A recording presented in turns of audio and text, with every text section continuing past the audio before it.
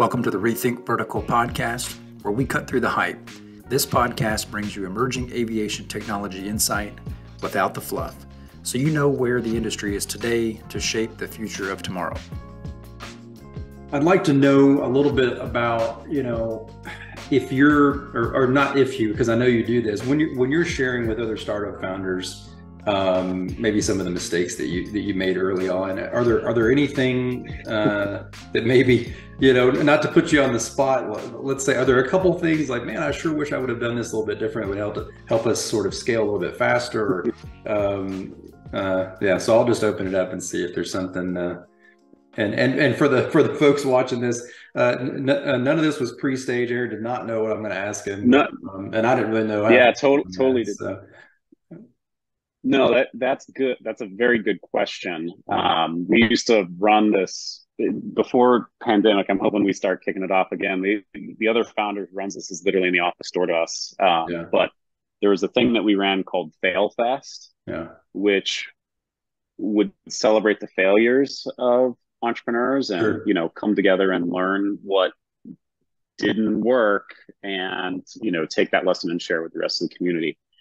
Um, I know I got some good ones. I just I put them on the spot. I yeah. So the the one thing there. So one of our mentors is Warren Katz. Um, worked for him at TechStars. Phenomenal, phenomenal human being. Probably the most knowledgeable person on dual use and defense startup tech mm-hmm. on the planet. Um, he also has a wonderful T-shirt collection, which you should check out and probably subscribe to. Right. Uh, if you know Warren, I, um, he'll he'll probably throw something at me next time he sees me for that comment. But his he has the he's got three rules for mm. entrepreneurs that I think are the best three rules that I've I've ever heard for for how to go and start up a company. And through experience, you'll learn that there are three very distinct rules. But those three rules are survive, survive, survive. right and they are distinct. I, I promise you that. Okay. Um, it, but you, you can only figure out the distinction if you've passed rule one and then rule two. Mm. Um, th- those are key. Um, but honestly, with one of the mistakes that we made early on was probably spending too much time with the wrong type of investor. Mm. And, you know, part of it is, is I, I come from the Indiana ecosystem and it's a phenomenal place to, you know, grab talent, build a company, all of that. But it, it's no surprise. There's not a lot of capital here. Yeah. And the capital that does exist doesn't really know this space. Um, it's just not a natural space that they're familiar with.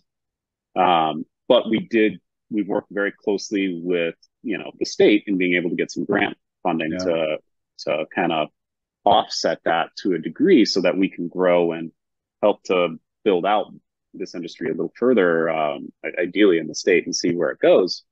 But spending time with the wrong types of investors was something that we, we just took up a ton of time early right. on where we could have spent that time doing more BD work with government, with defense folks, um, almost anything. Yeah. And I think if the investors, you know, some of the investors would continue to spend time with us while not politely recognizing that this was, I mean, maybe they did and they just didn't say anything because right. some investors will hold out yeah. and never say no. Yeah. But having a polite no, this isn't for us, is more useful to the founder than anything rather than stringing one along. Right. And we had a couple of those instances.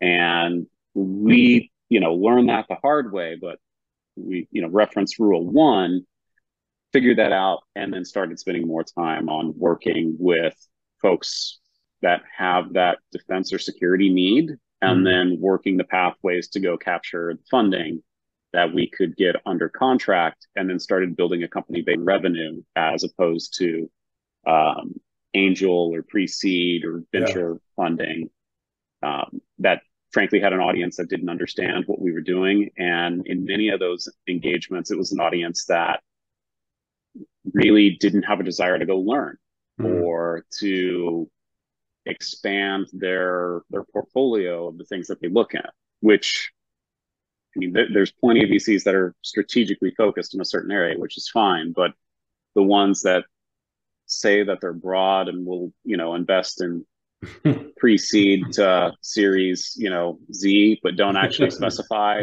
what right. that means those were the ones that ended up costing us more time than anything wow no, I appreciate I appreciate you uh, playing along with me, put you on the spot there. No, and I think that's super valuable. And I, and I can't tell you, I, have heard more than a few times from um, founders looking either either from you know the Midwest or not on the coast, right? So they're they're they're looking for funding in this industry um, that they they already have connections in those sort of like Midwest ecosystems and that uh, that the investors, even the sort of regional VC funds, um, the the amount of time they spent on diligence was was and the number of meetings they needed. It's just it's not sustainable. And and and from you know, no, I've had I've had conversations with some of the investors about this, and it's you know if they're they're value investors, they've been very successful, but the, but the but the rate at which these companies need to sort of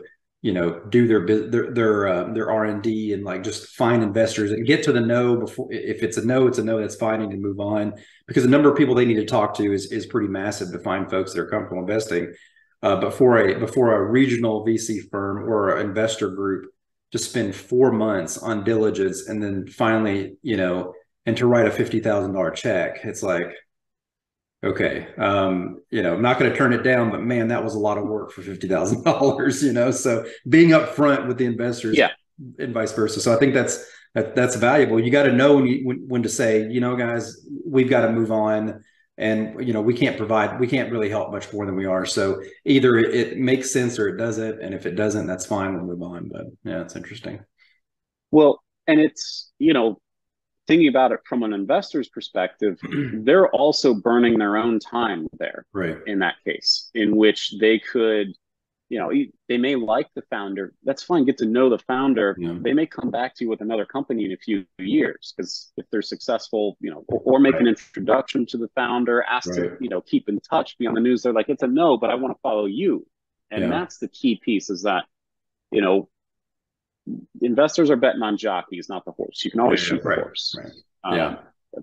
Probably shouldn't say that, but you, you know, they're burning their own their time there as well, which is also valuable. And I think improving some of the efficiencies in the process is good for everyone uh, across the board, and we'll end up for making better investments. And you know, if they're spending four months in doing due diligence, just to give you an idea and a perspective from the investors that have done that, I would have completed an Air Force contract by then. Right. Like the phase right, one yeah, contracts and, would be completed and done. Yeah. And, you know, depending upon the one, probably about $75,000 of revenue into yeah. the company's coffers. Right. And that that's something that I think should be taken as a wake up call mm. is that the government is moving faster than the due diligence process of the investors in some of right. those cases. Wow. And yeah.